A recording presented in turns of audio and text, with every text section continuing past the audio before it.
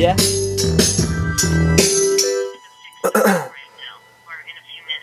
Is the guy coming to fix the rug? Yeah. Can you do me a favor? All right. Can you pick up that spare piece of rug that you have your boxes on top of? Yeah, I got you.